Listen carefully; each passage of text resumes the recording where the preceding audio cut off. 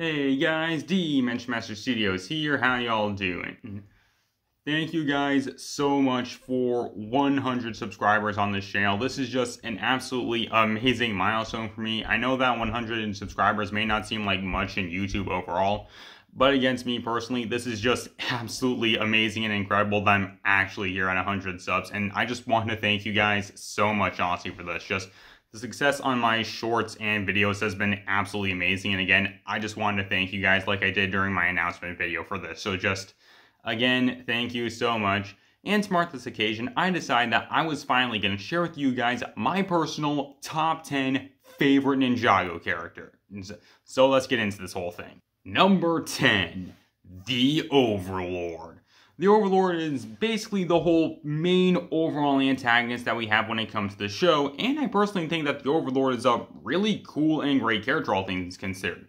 I like the fact that he's in this constant, endless battle against the forces of light because he's immortal and he's constantly trying to do whatever he can to destroy the balance and try and take over Ninjago. That's definitely something pretty interesting. Plus, I also like the fact that he was able to return during the events of Season 3, and as we know, he's going to be returning during the events of Season 16 as the Crystal King, and I cannot wait to see him in the show, actually.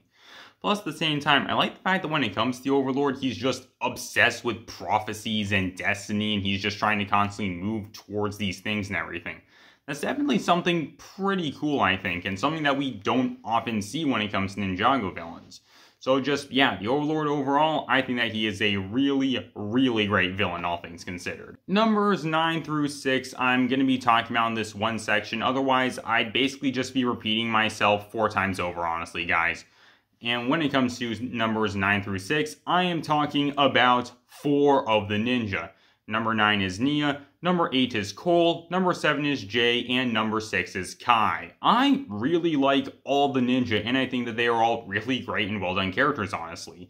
I also like the fact that when it comes to each of the ninja, when it comes to one major focus season they have, they all go through some kind of personal character arc with them just learning something pretty great by the end of the season, and I think it's done pretty well. When it comes to Nya, there's obviously Seabound with her learning about difficult choices and what that can mean in order to make difficult choices where there's no right answer. That was definitely something pretty cool. You have Cole during season 13 with him overcoming his insecurities that he wouldn't be as good a warrior as his mom, which allowed him to unlock the Spinjitzu Burst and defeat the Skull Sorcerer. That was something pretty cool. There was Jay during Skybound, with him just trying to be less of the comic relief character and showing that he can do stuff and save people and everything. That was definitely something pretty neat to see.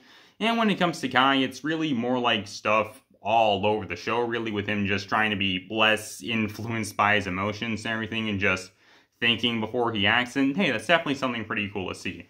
Again, I really, really like all the ninja. I think that they are pretty great, and you may have noticed I left two off, and well, spoiler for the rest of this list, they are much higher on this list. Number 5, Lord Garmadon. Garmadon was the OG big bad of the show, and just, Garmadon is great considering how much he's changed over the events of the show. Initially, during the pilot season, he was this mysterious and dark presence who was running the whole Skulkin army trying to get all four golden weapons so he could escape, and we didn't know all that much about him, really, other than just he was evil and Wu's brother. That was definitely something pretty nice to just set up later on. When it came to Season 1, we got something really interesting when it came to Garmadon with him being evil and wanting to take down the ninja, but at the same time, he was allying himself with the ninja, but it was only because Lloyd, his son, was captured by the Serpentine.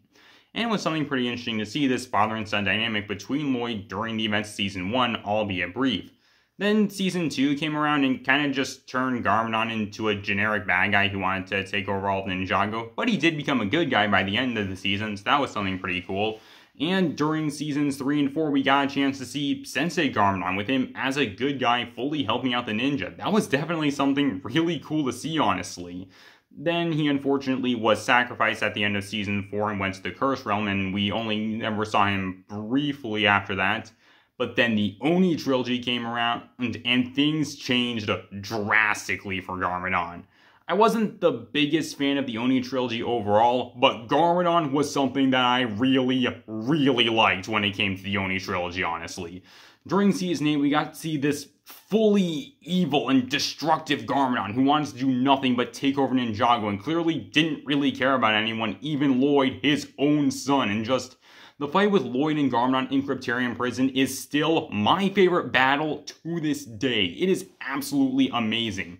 Season 9 then came, and we got a chance to see Garmadon as the Emperor of Ninjago and just see how bad things were with him as the ruler. It was definitely something interesting to see. And during Season 10, March the Oni, Garmadon starts down the path of becoming a good guy, or at the very least, slowly going away from the side of evil, actually, which is definitely something pretty interesting to see and I cannot wait to see what we do get when it comes to Garmadon during the events of Season 16, and I am really glad that he is back during Crystalized, and hopefully we get a chance to see Sensei Garmadon come back at some point. It would definitely be something really cool, honestly. Number 4, Morro. Morro is my personal favorite villain in the entirety of the show, without question. This guy is just awesome, and I like a lot of about him. For starters, I really like his backstory and his connection to Sensei Wu with him being the original Master of Wind and basically Morro just being this boy that Wu took in basically and raised up as his son. And when Morro found out that he wasn't the Green Ninja, he wanted not just to get revenge on Wu, but also Destiny itself. And this is something pretty interesting. We're seeing Morro trying to just break away from Destiny and basically choose for himself, really It's something pretty interesting, and I like the fact that at the end of the season, we kind of see that Morro was able to have an effect in, in this way, basically, because when it comes to the Cloud Kingdom, according to Fenwick, quote, we must not dabble in their affairs anymore, potentially suggesting that when it comes to the Cloud Kingdom, they may have stopped writing destinies, actually, maybe either for Ninjago or just the realms in general, and so anything can happen potentially. So that's definitely something pretty interesting. Plus, I also really like the fact that when it comes to Morro, he's a smart villain, and by possessing Lloyd, he gets multiple advantages when battling against the ninja. That is really cool. And I really like Morro's redemption story, which we got at the end of Season 5, with him deciding to give Sensei Wu the Realm Crystal, and letting himself get dragged down into the water because he knows that's the only thing he can do in order to make up for all the stuff he did. And I like that they continued on with this during Day of the Departed, actually, with Morro deciding not to kill Sensei Wu and actually decide to help him and the rest of the ninja by telling them about Yang's plan. Like, he gave up his chance to come back, and I think that's something pretty cool to see when it comes to Morro. Like, he became a good guy at the end of Season 5, and he's still that way during Day of the Departed. It's pretty cool, honestly.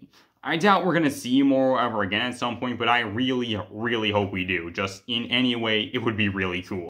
Number 3 when it comes to a lot of people's top 10 favorite character lists when it comes to Ninjago, they generally have at least one, maybe two ninja allies, just someone who's not necessarily on the team but still helps the ninja in some way or another. And I decided that I did want to have a character on that list, but I wanted it to be one character who I especially really liked a lot. Except when it came to the ninja allies, there really weren't any of them that I thought were at the level of 10 best characters in the show, honestly. Like some of them I did think came close, but none of them were really at this level, except for one. There was definitely one ninja ally in particular who I think is easily the best ninja ally in the entirety of the show, and one of the best characters we have ever gotten when it comes to Ninjago.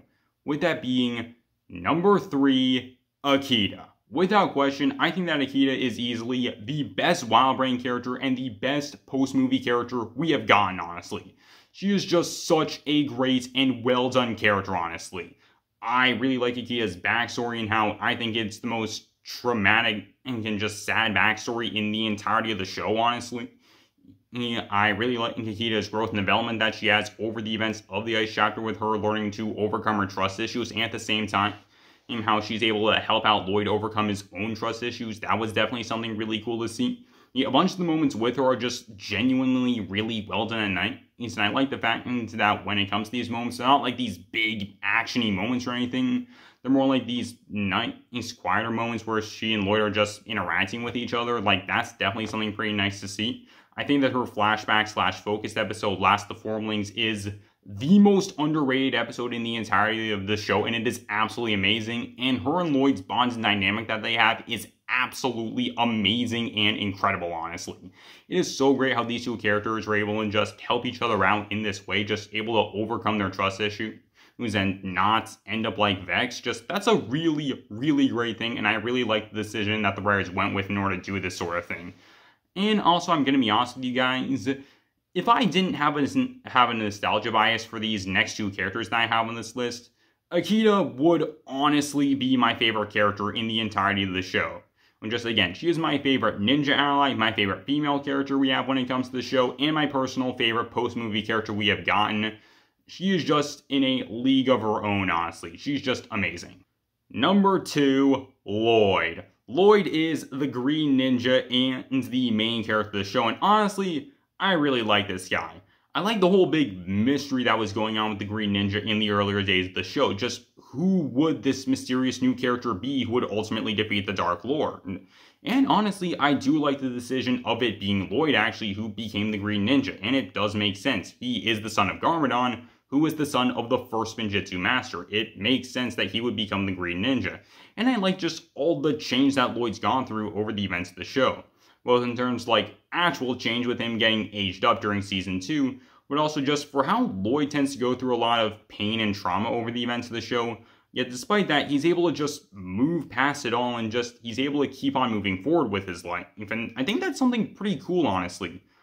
I also think that when it comes to Lloyd's voice actor change that he had during season 8, it was actually able to help out Lloyd's character in a big way and make him into a pretty well done character even more. That was definitely something that I liked a lot.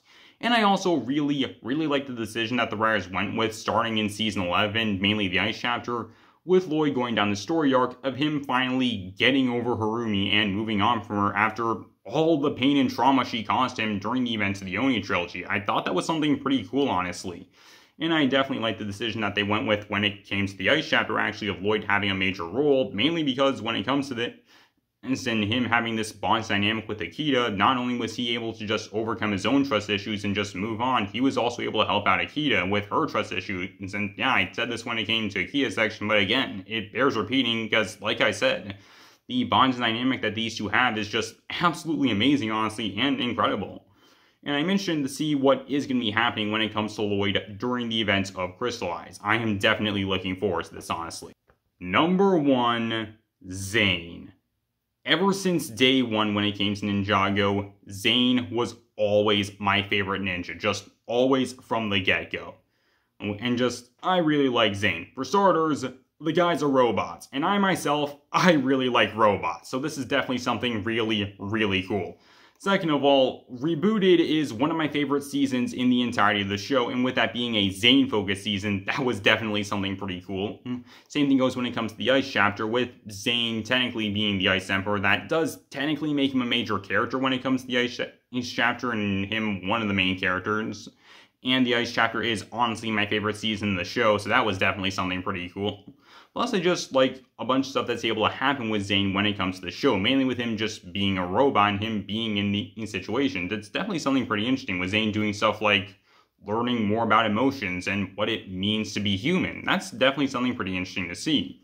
And like I said when it came into the Akita section, one of the main reasons why Zane's my favorite ninja is honestly because of nostalgia. Zane came in the first ever Ninjago set I ever got, honestly. It was the Ice Dragon attack set all the way back in 2011, and Zane was the ninja who was in that set. I feel like if any other ninja had been in that set, they would have been my favorite character when it comes to the show, but it was Zane. He was in that set, and he became my favorite character just after that. And honestly, I think that's a pretty nice thing, honestly.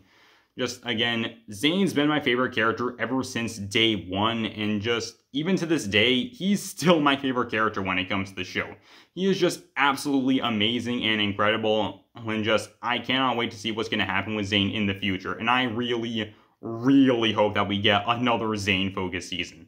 And if it's either like another tech focused season or maybe a season where the ninja return to the Never-Realm and we get to see some more stuff going on when it comes to the Ice Emperor, Either way, I am definitely hooked when it comes to that. And that's pretty much all I got for you guys. So tell me down below what do you guys think? Who are some of your guys' favorite characters when it comes to the show? And again, thank you guys so much for 100 subscribers. I really could not have done this without you guys. Later, guys, this is Dimension Master Studios signing off.